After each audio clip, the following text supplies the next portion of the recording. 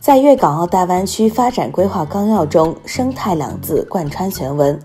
纲要提出要构建生态廊道和生物多样性保护网络，提升生态系统品质和稳定性。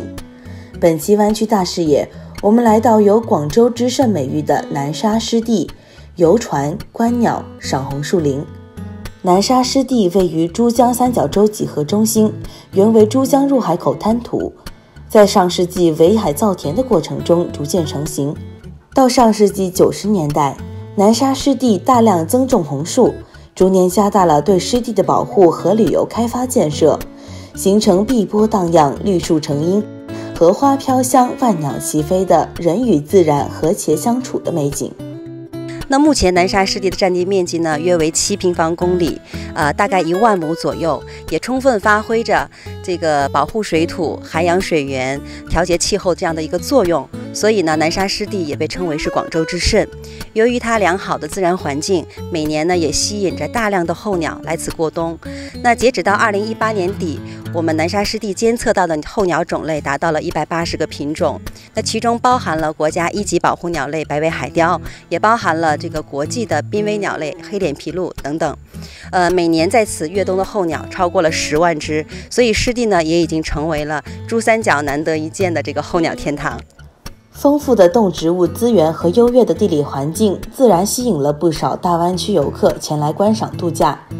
坐上游船，沿着湿地河道前行，红树林、芦苇荡、莲花池尽收于眼底。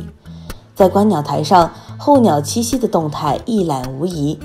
漫步在榕荫大道，迎面而来最新鲜的植物香气。就游咗船嘅，咁喺红树林里边呢，就会见到有好多白鹭啦。咁呢啲景色呢，平时喺城市里边系好难发现到嘅。咁游咗船，我都发现南沙湿地呢边嘅环境保护咧係做得非常之好嘅。今年公司搞公司团建嘛，然后看我们平常工作太辛苦，然后来让我们放松一下。因为这里是湿地公园嘛，所以其实又靠海，然后水就比较多嘛，然后比那种。内陆的一些公园会比较更凉爽一点。呃，大湾区肯定呃环境要放在首位，然后再去想到经济发展嘛。你要是破坏了环境，到时候你经济发展起来还是得环保，对吧？粤港澳大湾区水鸟生态廊道建设规划提出，至2025年，大湾区将建成水鸟生态廊道，提供更多的栖息地给珍贵野生水鸟安家入户。南沙湿地未来也会以国际化的高标准进行规划和建设。目前，南沙湿地已经是广东省青少年科普教育基地，每年也会接待来自港澳的中小学生进行湿地调研和交流学习，让下一代亲身体验环境保护的成果。